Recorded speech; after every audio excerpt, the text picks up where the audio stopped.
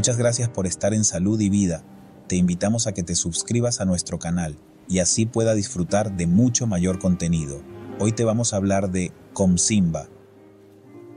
Comsimba es un fármaco antihistamínico compuesto por levocetiricina y está indicado para el tratamiento de los síntomas asociados a condiciones alérgicas.